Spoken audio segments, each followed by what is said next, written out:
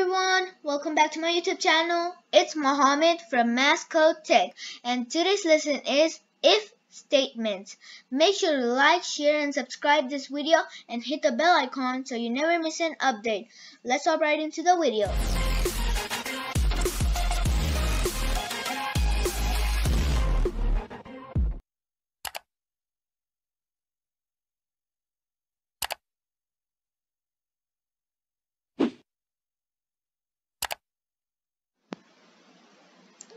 So guys, let's start by making the variables. The first one will be variable x, which is going to be 20 and will be controlling the x position of the shape.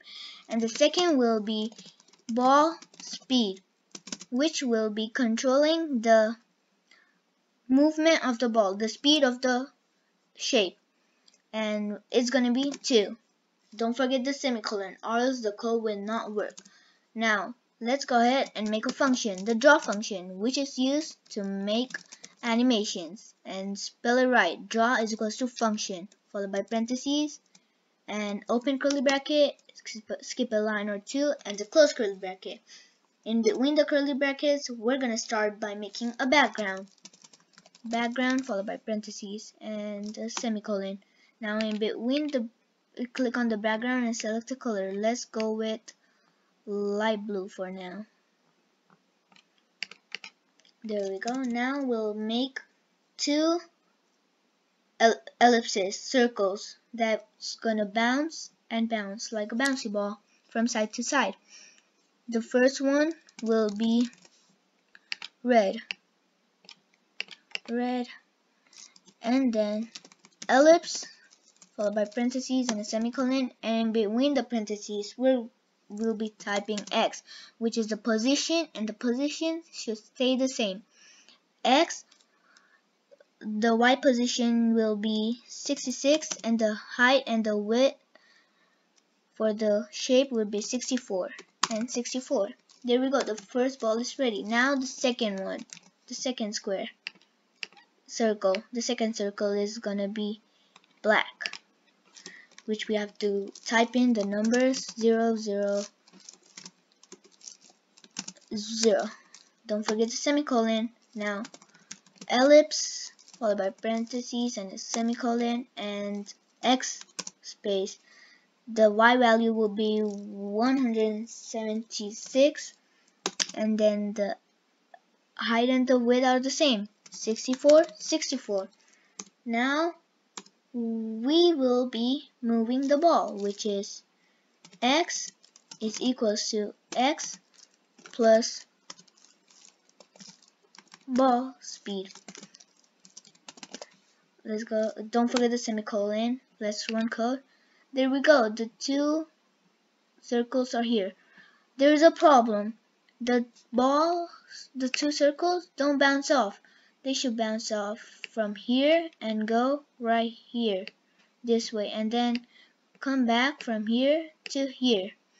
So let's try this is where if statements come in. So to make an if statement you type in if followed by parentheses and a quick important note. The if statement should always be inside a draw function if you're making a thing like bouncing at bouncing balls like that. So if followed by parentheses and a semi parentheses and then an open curly bracket, skip a line or two, a close curly bracket. So in between the parentheses of the if we have to that's the command we type in and in between the open and close curly bracket that's the code we run the code to run so let's start by making the command which is going to be it the ball should bounce off this edge.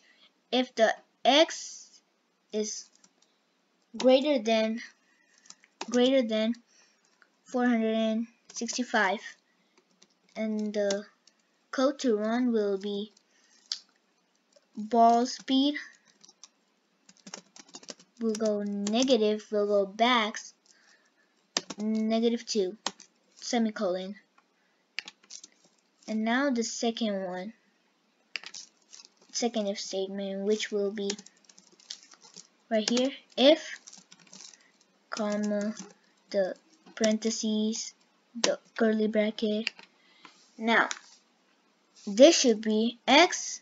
If x is less than 35 the ball should go back where it came from now let's go ahead and try if it works.